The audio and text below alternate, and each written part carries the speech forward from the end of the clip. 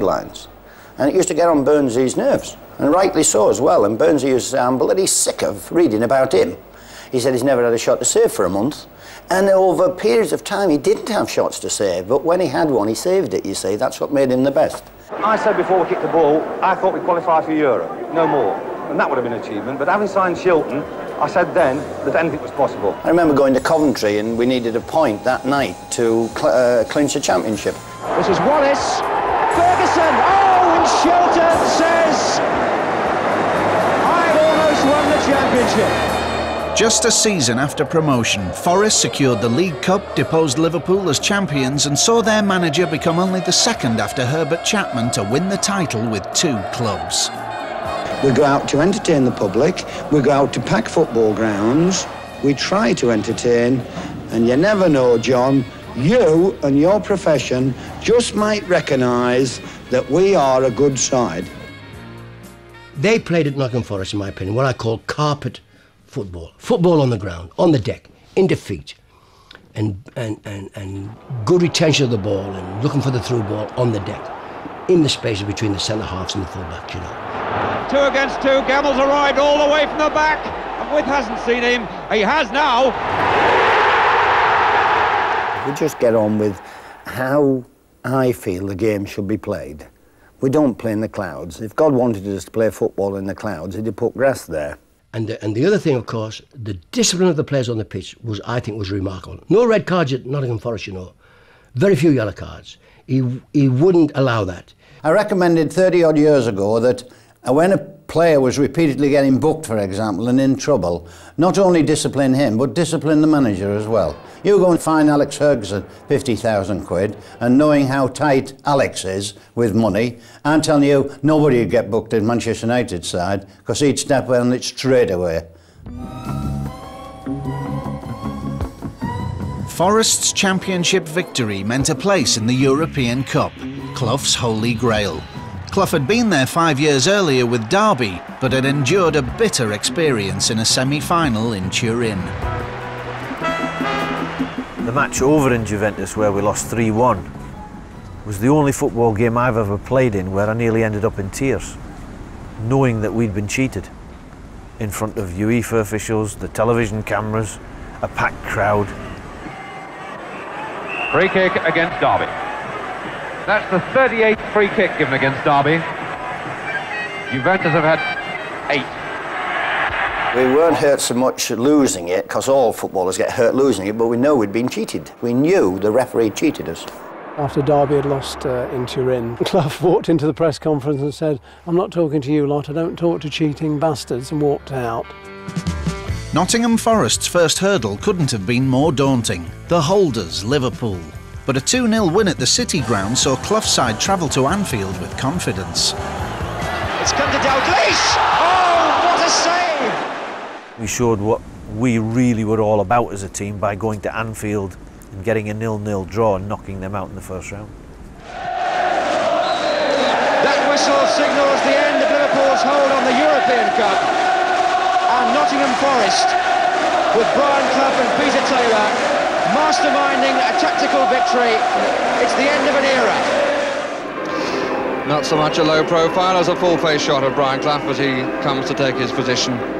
I think when we drew 3-3 with Cologne in the semi-final of the European Cup at the City Ground and the media and I think most football supporters throughout the country didn't really give us a chance, knowing that even if we went and drew in Germany, we were out because of the away goals. But uh, Brian just stood up in front of the camera and just said, I hope nobody's stupid enough to write us off. Bowyer in the six-yard area. Flicked on, there's Bowyer! Yes, he's got it! And Nottingham Forest are in the European Cup final. And they've done it the hard way. Earlier in the season, Clough had broken the UK transfer record to make Trevor Francis the first million pound player. In Munich's Olympic Stadium against Malmo of Sweden, he proved he was worth every penny. This Trevor Francis makes his debut in European football in the final of Europe's major club competition. They're calling him Bob Houghton, but if you don't know that face, you must have been uh, somewhere on a desert island.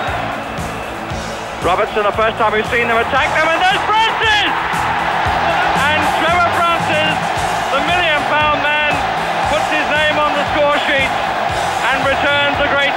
Great deal of the cheque. The European Cup has come to Nottingham Forest. John McGovern holds the European Cup aloft. Amazingly, 12 months on, Forest were at it again. A second European Cup final, this time against Kevin Keegan's Hamburg in Madrid. And I remember Peter Taylor on the day of the match saying, We're going to win this 1 0. So, how do you know? I've looked at the players, I've seen them training, I know, I know what's gone into the minds. The attitude's right, everything's right, we'll win this. And even Clough would. That's a bit bold. Robertson shoots! Oh!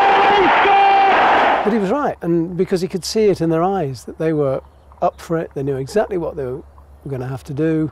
They were the champions and they were going to retain that title. It was just like a snowball effect. You just gathered momentum and momentum all the time, and, and next thing you know, you, you're the champions of the country, then you win the European Cup and you win it again. I mean, to win two European Cups successive years is, is a remarkable story. It's a fairy tale. It, it's, it's, it's historical. I'm very proud and privileged to be part of that great team. It was a wonderful time for them all, you know, the European trips and, oh, I mean, we'll never forget, forget them, any of us. Everybody wanted an English club to win the European Cup, and that was one of the things that kept us going. With back to back European Cups sitting on the Forest sideboard, it was perhaps inevitable that speculation would once again surround Clough regarding the biggest job in English football. Well, you know, I'll tell you a story. Uh, because I had the England job at the time, everybody was clamoring for Brian Clough. And I remember going to Bert Millichip, who was a very nice chairman, in fact, a brilliant Football Association chairman. And I said to, him, to Bert one day, Bert, listen, you know, uh, I'm having a rough time, and everybody wants Brian Clough. So, look, forget about me. Let's think about the country. Give the job to Brian. Hello, Ted.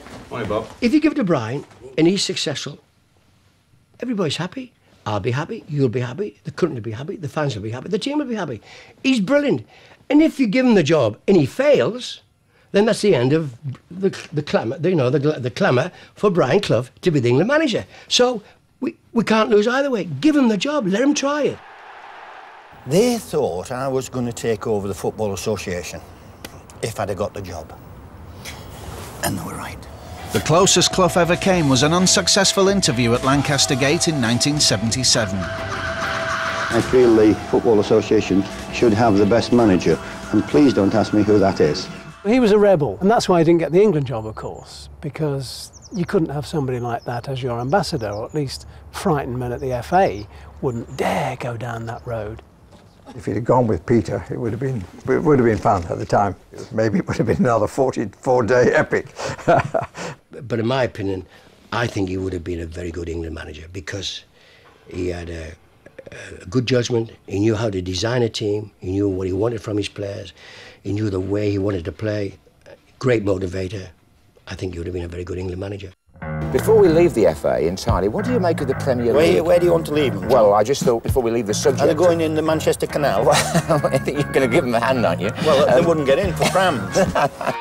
The need to maintain success had strained the Clough Taylor partnership, and in 1982, Taylor announced his retirement. As Peter Taylor comes to take his place in the dugout. Only to re emerge as Derby manager six months later. I was walking the Centurion Way actually when he signed John Robertson.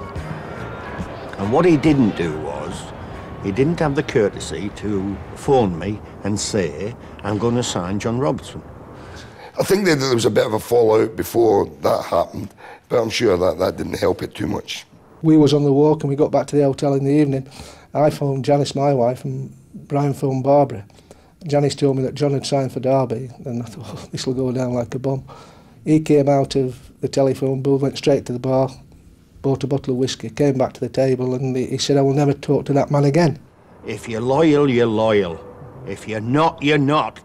And he said he promised me that he wasn't going to go back into football, and he did. And he said he's now signed John Robertson without even asking me.